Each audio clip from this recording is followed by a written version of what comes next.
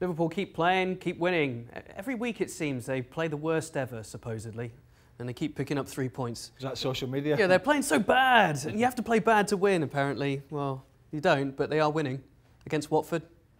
Yeah.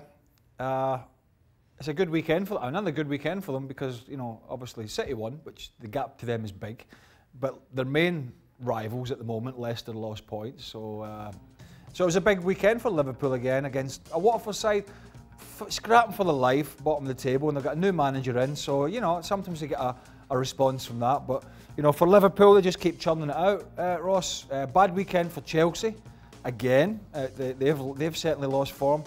Uh, you know, not a great performance from Leicester City. Big performance from Tottenham in terms of defensively. Another uh, back to, I would say, back to normality for Man United. You know, for going through them, and I said it a couple of weeks ago, Chris Wilder has done an amazing job there. Oof. As have Wolves, who played really well, but ultimately lost. Uh, and Arsenal still hovering around down near that mid-table. Uh, they got absolutely tanked, but it was no surprise. In fact, it was embarrassing. The punters were leaving. Uh, they might as well have left in the first half, most of them. Get home, get a bit of Sunday dinner or whatever it is, and uh, put something else on the telly apart from the Arsenal game, because why would you want to watch that? Uh, so Chelsea's form is a bit of a worry because there is just a little bit of separation now from the likes of a sort of a, a Sheffield United and the sides struggling behind them, like an Arsenal. You know, those sides that are just creeping up on the top four. Four points between the Blades and the top four. Chelsea need to pick up. Well, I think we're not looking at. I think we're probably not looking at Arsenal now. They're just so wretched.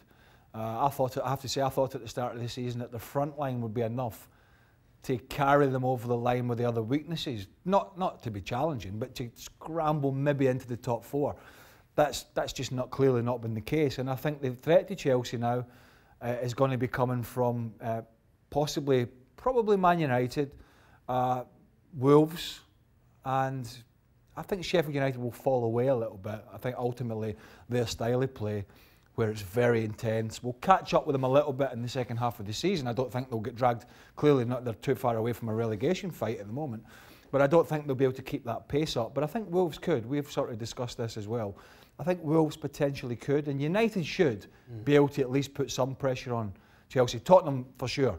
Tottenham are certainly back in the hunt for that top four. There's not a doubt about it. Yeah, that'll be a really fascinating race with Tottenham and Chelsea going head to head for that. And Frank's going to be Frank's starting to come under a little bit of pressure uh, Frank Lampard. You know, they didn't have a transfer window in the summer, so they couldn't operate.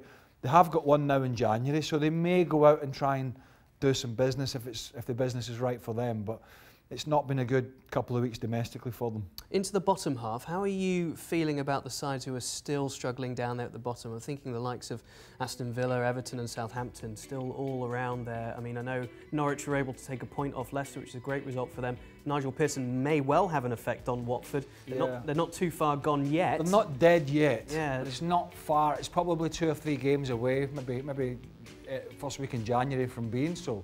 Uh, Villa would start to concern me. Uh, you know, getting dragged back, obviously they are. Southampton definitely concern me. They seem to be avoiding the trap door almost every season, and I think ultimately you can't keep selling your best players and not replenishing and replacing.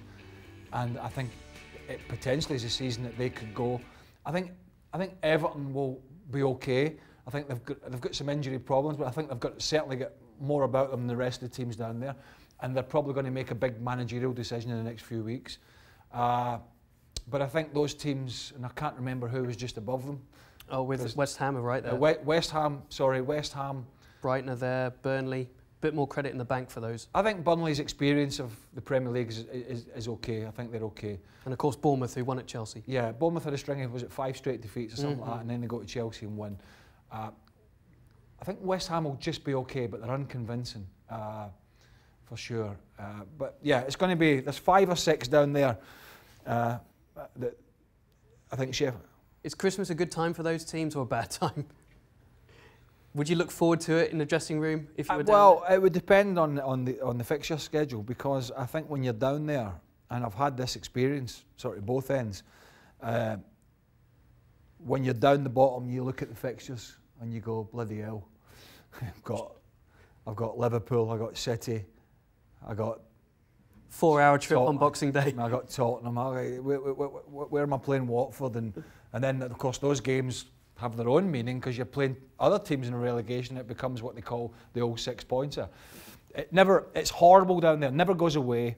Um, you feel as if you're just running in the mud all the time. But ultimately, you've got to look around when you're in a relegation fight. you've got to look around the dressing room. And I'm telling you now, Watford's dressing room. I tell you who the busiest person at Watford will be, and some of those other clubs right now, is the physiotherapist. It's amazing that, isn't it? It's amazing when you're down there struggling. The, the, the, the treatment room is a haven for a lot of players and you've got to try and cajole those players out of there, roll the sleeves up, and try and get the job done. If you can't do that, you're going down. And so I think the, the promoted clubs, uh, Norwich are struggling, Villa are struggling, Sheffield United are fine, and Southampton, who perennially just seem to be struggling every year down that scenario, it could be their year to go because they're not because West Ham are not a good side, but even West Ham were, were able to go down there and, and take the three points off them. It's a great point on the dressing room. You've got to get them out as much as anything because the mood must be awful in there. Everyone just blaming each other when they're not actually well, out there on the training pitch I'd, doing anything. I had that period under uh, uh, Derby County with Jim Smith where I went in there in the December 99. Jim Smith, who was one of the great managers of his generation, characters, and he passed away this week, very sadly. But he was looking for people to, to go and lead. And, and, and uh, we were second bottom of the league in December when I signed from Celtic. And we, honestly, it was a horrible period to the end of the year. And we saved ourselves on the second last day of the season at home to Bobby Robson's Newcastle. And we were at Tottenham the, day, the week before that. We were away to Tottenham where we got a point. And the last game of the season was Chelsea away and we couldn't afford to go to Stamford Bridge because we know we, were, we knew we weren't going to get in. So it was a case of just digging results out. There was games we got men sent off. I remember going to Tottenham, we lost Stefan Schnoor, the German defender, got sent off. At Bradford, Rory Delap got sent off in the first half. We still managed to get a point because we managed to dig in. If you can't dig in down the bottom of the league, you're screwed.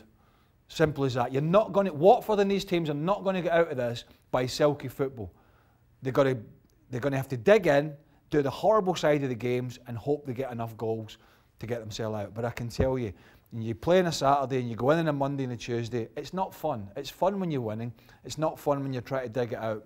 But ultimately, that's what it is for these teams. They're down there for a reason, and we'll see if they can handle the pressure of trying to stay in the Premier League, which is worth gazillions. I don't know how much it's worth to these clubs and yes. these players. But the only presents worth anything at Christmas time are points, and that's what all of those teams need, top and bottom.